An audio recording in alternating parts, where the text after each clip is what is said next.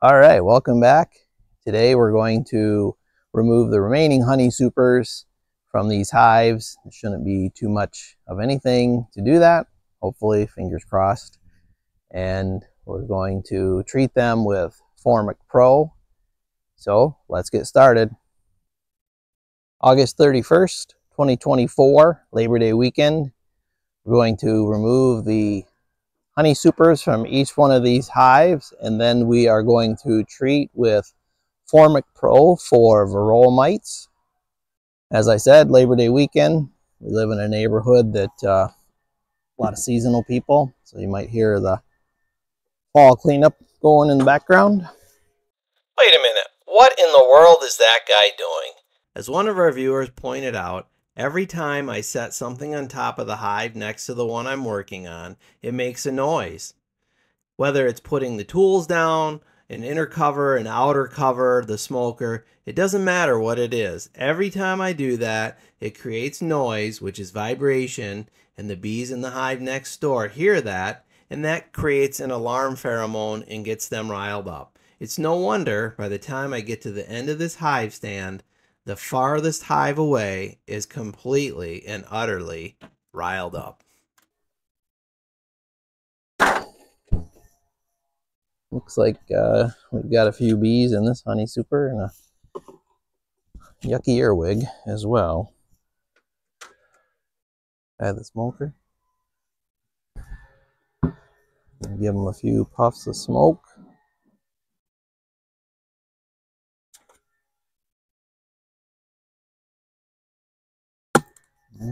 Open this guy up and see what's going on. If you remember last video, or if you didn't see the last video, we gave these hives some wet frames from honey that we had already extracted. See if they would clean them up. Uh, this. Oh, and I stand corrected. My beautiful bride told me that this was just empty frames. So we're just going to take this entire box off of here and set it aside. Really propolized or propolized this box down just in the short period of time. And possibly built some comb as well.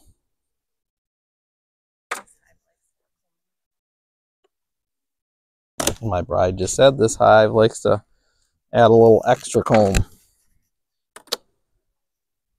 Got it?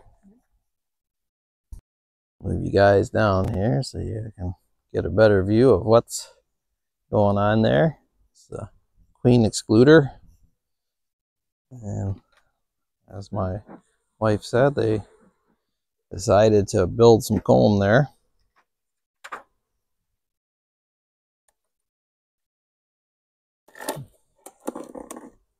Scrape this off a bit.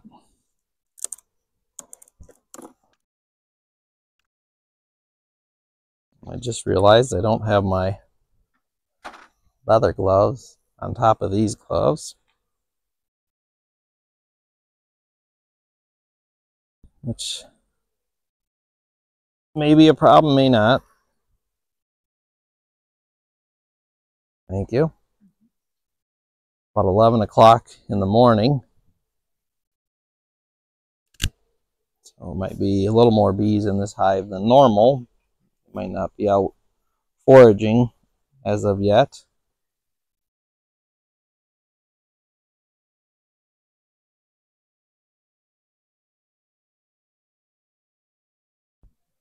So the treatment we use is Formic Pro, which is uh, a formic acid. And in order to do that, there's a couple of ways to, to treat. One is a 20 day method, I believe, where you put one strip in for 10 days and then come back 10 days later and put another strip in. But it's getting late in the season for us, even though it is only August 31st. So we're going to do the 14 day treatment with two strips. Actually, the 14 day treatment is for capped brood and the 20 day treatment is for uncapped brood. Has nothing to do with what I mentioned. Sorry about that. So this is uh, Formic Pro. Comes either in cases or in packets like this. This, uh, as it says, has two doses per package. So there's four strips in this. It's very important that you read the directions thoroughly because um, this can cause uh, skin irritation, eye burns, and uh, severe reactions in some people. So we're going to give them a little bit of smoke. My smoker wants to cooperate, and then we're going to remove this box because we want to put the strips, because we run mediums, we want to put the strips in between these two brood boxes.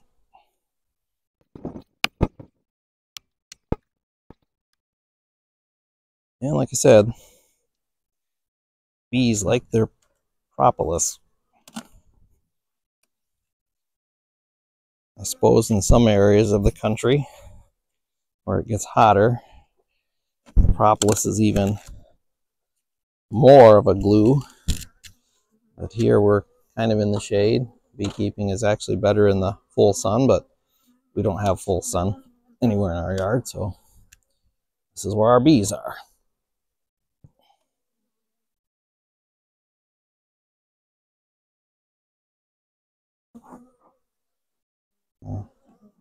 I smoke them down in.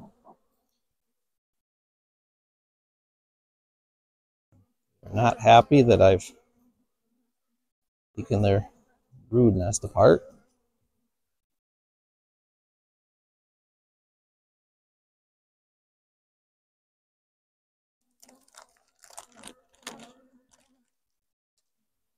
When you open up the package, there's going to be two packets in there tinfoil packets like this. Each one is going to have two strips wrapped in paper. And try to clear as many bees out as you can. They are not going to like the smell of this.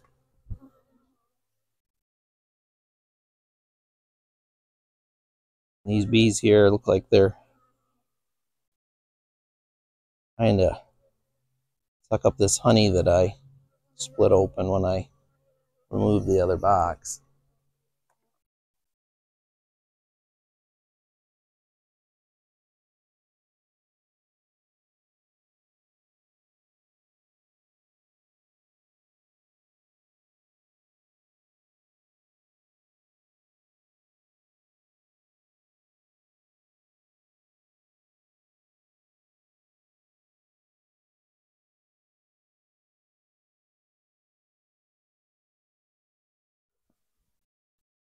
We had a little bit of a I'll call it a technical difficulty difference of opinion maybe confusion. But no you do not have to remove the paper from the Formic Pro strips.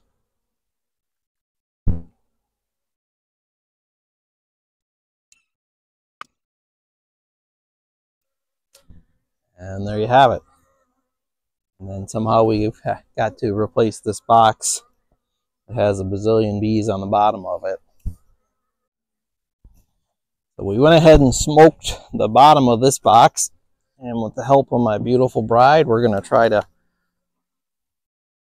put it back on without crushing some bees.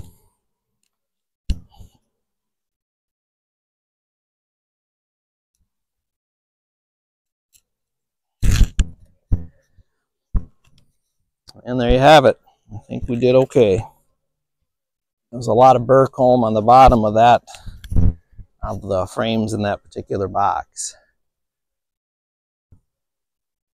So basically we're just gonna smoke them back down. I'm uh, relatively happy with the number of bees in this hive. Chock full of bees, which is a good sign going into going into fall.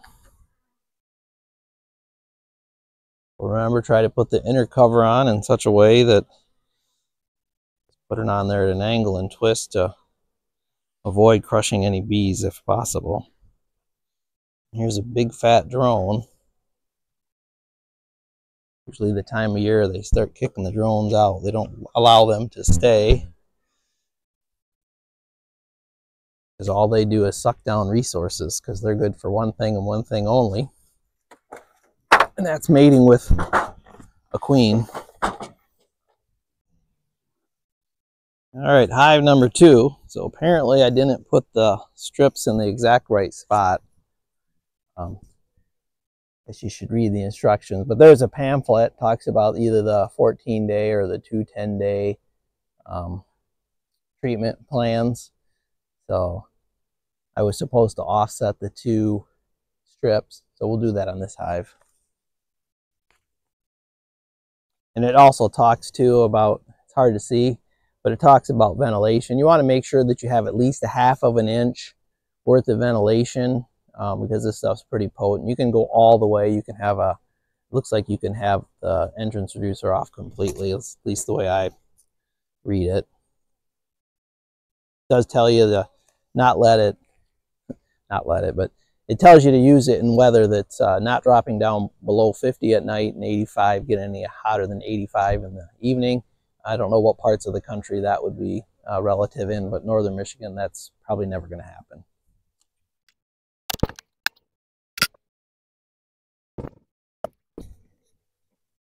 Is it still stuck? Let me, yeah. unstick it.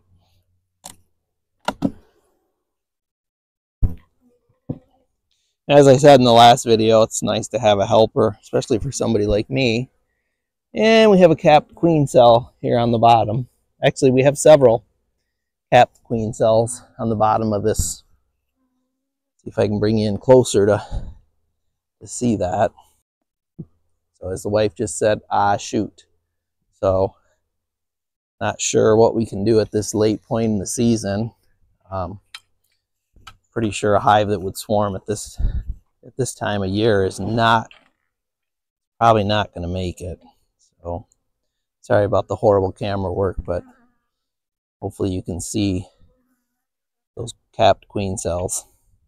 So I guess my uh, worry about the placement of the Formic Pro really takes a back seat to this. I don't know.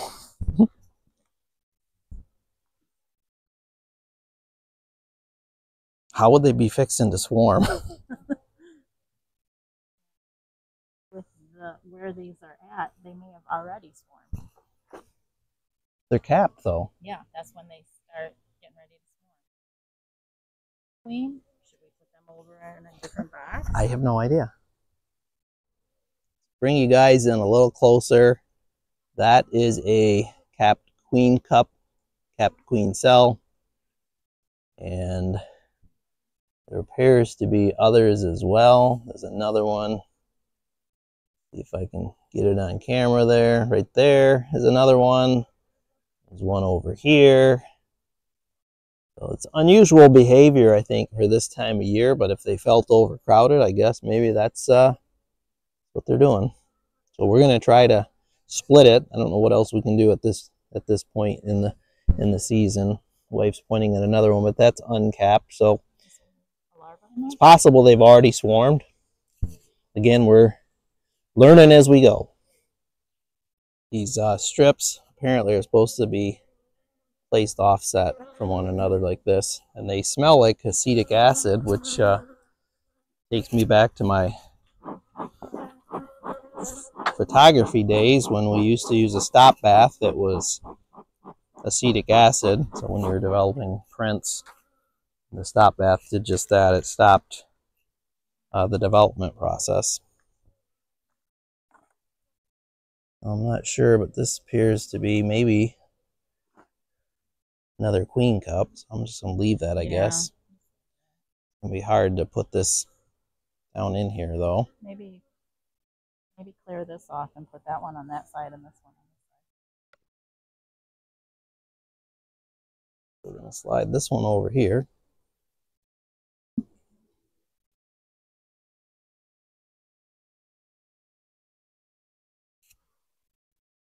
Clear this off.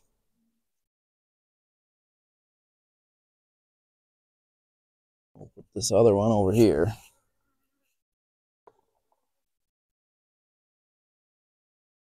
We did go ahead and take the the frame out that had the couple of queen cells on it and put in a different box. So we'll go ahead and put this one back together now that we kind of got these in the right spot.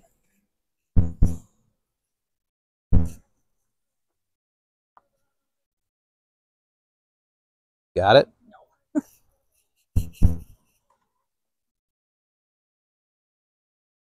Of course, it's hard to put these back on using the twist method since there's we did leave a couple of those queen cells. That's possibly a mistake.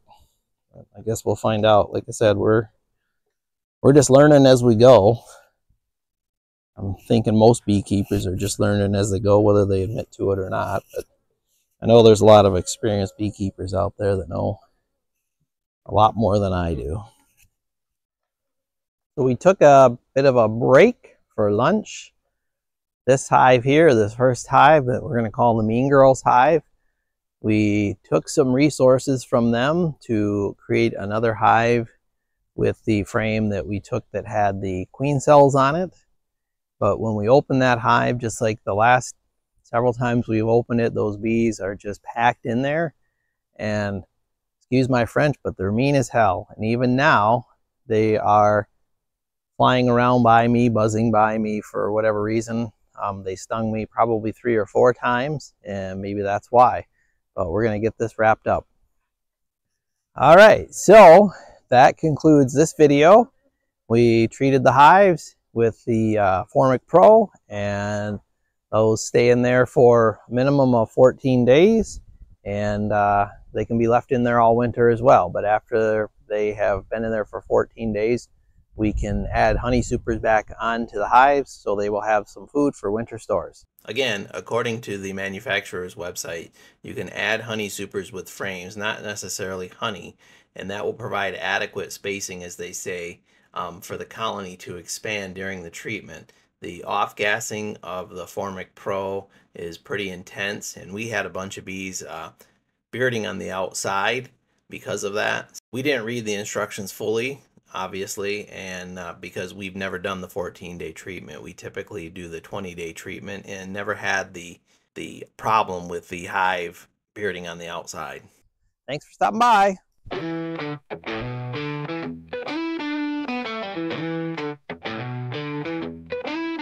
Triple TB Farm, a place of great charm.